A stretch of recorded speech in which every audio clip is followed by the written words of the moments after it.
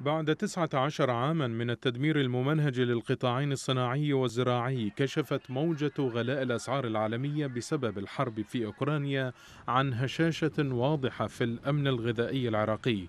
وهي لحظة التقطتها أحزاب السلطة وميليشياتها التي خسرت جزءا كبيرا من مغانمها لاستغلال موجة الغضب الشعبي بسبب ارتفاع أسعار المواد الغذائية.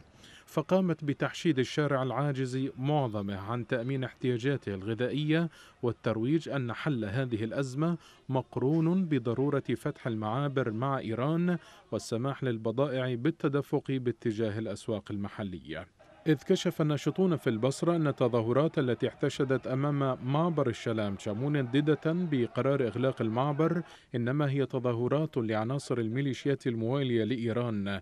وبما يؤكد حديث الناشطين عن كونها تظاهرات ولائية هي حمل صور أبو مهدي المهندس وأعلام ميليشيا الحشد.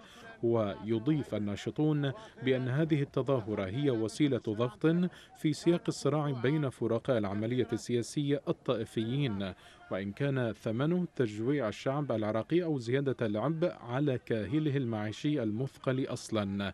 ولا سيما بعد تجريف القطاعين الزراعي والصناعي رغم إعلان وزارة الزراعة اكتفاء العراق ذاتيا ل 24 مندة زراعية وعدم الحاجة للاستيراد. لتواصل الميليشيات الولائية إعدام أي فرصة لإنعاش اقتصاد العراق وبالتالي إبقاء الباب مشرعا أمام تدفق البضائع الإيرانية رديئة الجودة ومنتهية الصلاحية والمسدد أثمانها بالعملات الأجنبية.